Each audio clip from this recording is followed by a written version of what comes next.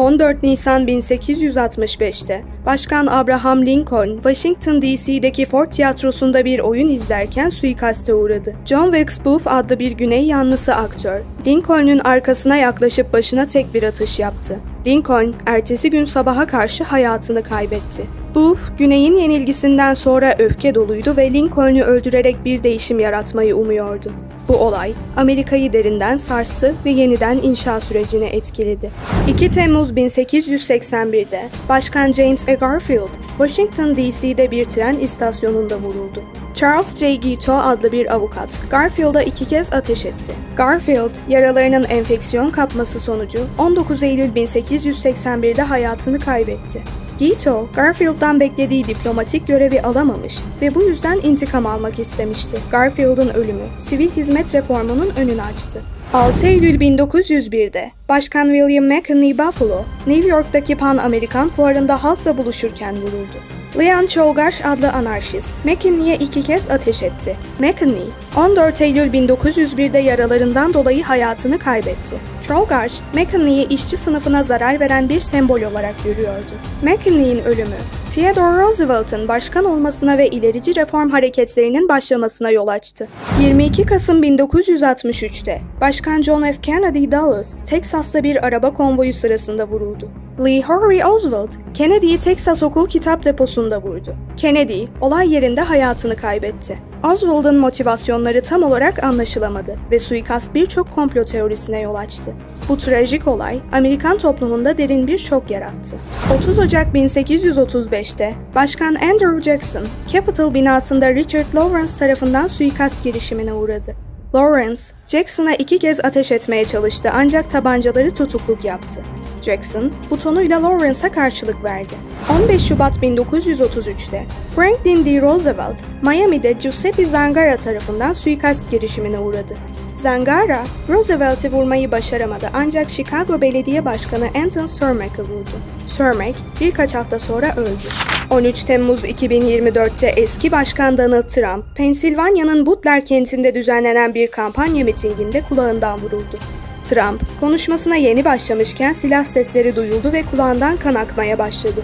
Gizli servis hemen müdahale etti. Trump'ı çevreleyerek sahneden tahliye etti. Trump, daha sonra yakındaki bir hastaneye götürüldü ve güvende olduğu doğrulandı. Saldırgan, güvenlik çemberinin dışındaki yüksek bir konumdan ateş açtı ve gizli servis saldırganı etkisiz hale getirdi. Olayda bir miting katılımcısı hayatını kaybederken iki kişi de ağır yaralandı. FBI bu olayı bir suikast girişimi olarak değerlendiriyor ve kongre bu saldırının nasıl gerçekleştiğine dair güvenlik açıklarını soruşturmak için harekete geçti. Saldırıya rağmen Trump'ın kampanya ekibi ve Cumhuriyetçi Ulusal Komite, Trump'ın Milwaukee'deki Cumhuriyetçi Kongresi'ne katılarak partisinin başkanlık adaylığını alacağını doğruladı. Kongre üyeleri, saldırının ardından güvenlik açıklarını araştırmak üzere soruşturma başlatılacağını duyurdu. Temsilciler Meclisi Gözetim Komitesi Başkanı James Comer, gizli servis direktörünün bir oturuma davet edileceğini belirtti. Trump, saldırının ardından Truth Social üzerinden yaptığı açıklamada kulağından vurulduğunu ve çok kan kaybettiğini belirtti. Ayrıca saldırı sırasında ve sonrasında hızlı müdahale eden gizli servis ve kolluk kuvvetlerine teşekkür etti. Saldırının ardından hem demokrat hem de cumhuriyetçi siyasetçiler Trump'a ve mitingde yaralananlara destek mesajları gönderdi. Trump'ın kampanyası, bu saldırıya rağmen Milwaukee'deki Cumhuriyetçi Kongresi'ne katılarak partisinin başkanlık adaylığını alacağını duyurdu.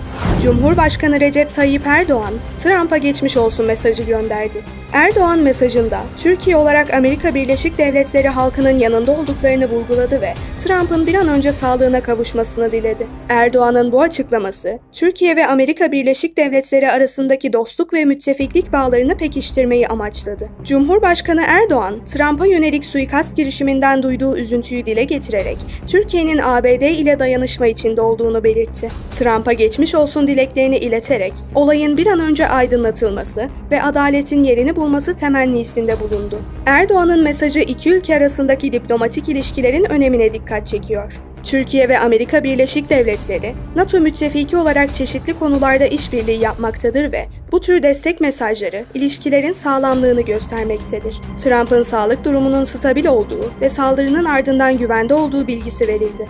Erdoğan'ın açıklaması hem uluslararası ilişkilerdeki önemini vurgulamakta hem de kişisel düzeyde bir destek mesajı olarak öne çıkmaktadır. Türkiye'nin müttefik ABD halkının yanında olduğunu belirten bu mesaj, iki ülke arasındaki dostluk bağlarını kuvvetlendirme çabası olarak değerlendirilebilir.